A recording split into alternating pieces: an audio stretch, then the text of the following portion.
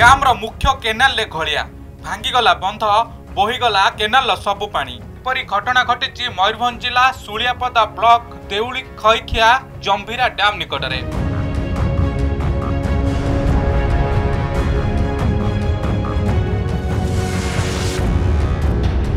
ଶିଉଳିଆପଦା block ଦେଉଳିଠାରେ ରହିଛି ଗମ୍ଭୀରା dam. ଏହି ଡ୍ୟାମ୍ରୁ ବାହାରିଥିବା ମୁଖ୍ୟ କେନାଲ ଦ୍ୱାରା ବ୍ଲକର ବିଭିନ୍ନ ଅଞ୍ଚଳକୁ ଜଳସେଚନ ହୋଇଥାଏ। ସୋମବାର ରାତିରେ ହଠାତ୍ ଦେଉଳି ନିକଟରେ ଖଇକିଆଠାରେ ମୁଖ୍ୟ କେନାଲ ବନ୍ଧ ଭାଙ୍ଗିଗଲା। ପାଖାପାଖି ତିରିଶ ଫୁଟର ଘାଇ ହୋଇଥିଲା। ଫଳରେ କେନାଲ ପାଣି ନିକଟସ୍ଥ ଏକ ନଦୀରେ ମିଶି ବହିଯାଉଛି। ତେବେ କେନାଲ ନିକଟରେ ହୋଇଥିବା ରବି ଚାଷ ବିଶେଷ କ୍ଷତିଗ୍ରସ୍ତ ହୋଇନାହିଁ।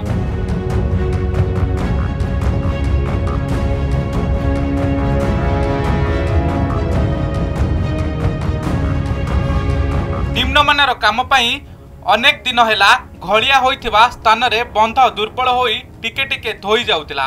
ବାରମ୍ବାର ଏନେଇ ବିଭାଗୀୟ କର୍ତ୍ତୃପକ୍ଷଙ୍କ ଦୃଷ୍ଟି ଆକର୍ଷଣ କରାଯାଇଥିଲେ ମଧ୍ୟ ଏହାର ମରାମତି କରାଗଲା ନାହିଁ। ଫଳରେ ଏଭଳି ଅଘଟଣ ଘଟିଲା ବୋଲି ସ୍ଥାନୀୟ ଲୋକେ ଅଭିଯୋଗ କରିଛନ୍ତି। ଏହି ଅଘଟଣ ପାଇଁ ସୁବର୍ଣ୍ଣରେଖା ଜଳସେଚନ ବିଭାଗର ଅଧିକାରୀମାନେ ଦାୟୀ ବୋଲି କୁହାଯାଉଛି।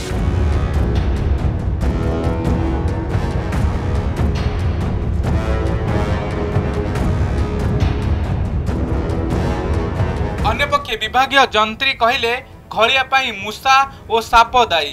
ମୂଷାଘାତ ଓ ସାପଘାତ ପାଇଁ ଉକ୍ତ ସ୍ଥାନରେ ବନ୍ଧ ଦୁର୍ବଳ ହୋଇଯାଇଥିଲା। ଏଥିସହ କେନାଲରେ ଦଳ ଜମା ହୋଇଯାଇଥିବାରୁ ପାଣି ନିଷ୍କାସନ ହୋଇ ନ ପାରି ଉକ୍ତ ସ୍ଥାନରେ ଘଳିଆ ସୃଷ୍ଟି ହୋଇଯାଇଥିଲା।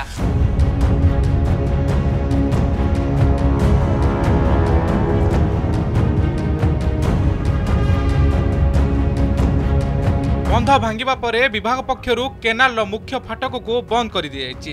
ସ୍ଥିତି ଅନୁଧ୍ୟାନ ପରେ କେନାଲ ମରାମତି ଆରମ୍ଭ ହୋଇଛି। ତେବେ କେନାଲ ପାଣିକୁ ଭରସା କରି ରବି ଚାଷ କରିଥିବା ଚାଷୀ ବନ୍ଧ ଧୋଇଯିବା ପରେ ଏବେ ଫସଲ କିପରି ବଞ୍ଚାଇବେ ସେହି ଚିନ୍ତାରେ ରହିଛନ୍ତି। ବାରିପଦାରୁ କସ୍ତୁରୀ ରାୟ ଏବଂ ଶିଉଳିଆପଦାରୁ ଗୌରାଙ୍ଗ ଗିରିଙ୍କ ରିପୋର୍ଟ ସମ୍ବାଦ ଡିଜିଟାଲ।